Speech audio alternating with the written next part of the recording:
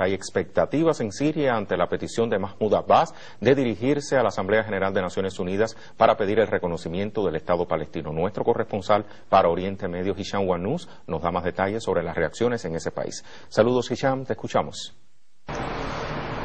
Hola, saludos estimados televidentes. El presidente de la Autoridad Nacional Palestina, Mahmoud Abbas, le ha informado oficialmente al secretario general de la ONU, Ban Ki-moon, su intención de dirigirse a la ONU para obtener el reconocimiento pleno a un Estado palestino independiente. A su vez, Ban Ki-moon informó que el proceso de obtener eh, la membresía de un Estado palestino se llevará a cabo en base o en función de las medidas vigentes en la ONU y que el caso de Palestina se va a remitir ante el presidente del Consejo de Seguridad de la ONU. Realmente este paso, además de chocar con el rechazo de Estados Unidos e Israel y las presiones de la Unión Europea, el cuarteto internacional, ha generado divididas reacciones entre las diferentes facciones palestinas con sede en la capital de Siria, Damasco.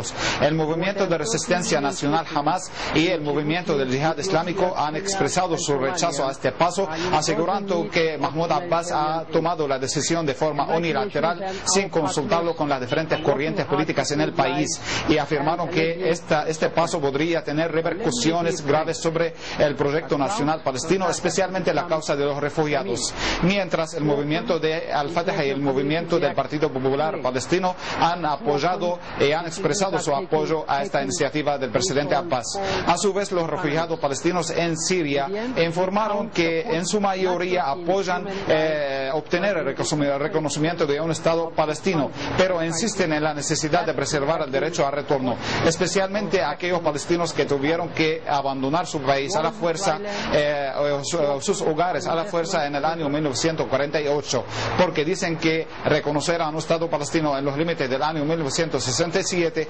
implica renunciar su derecho a retornar a sus territorios. Esta es toda la información que tenemos por ahora. Volvemos a los estudios.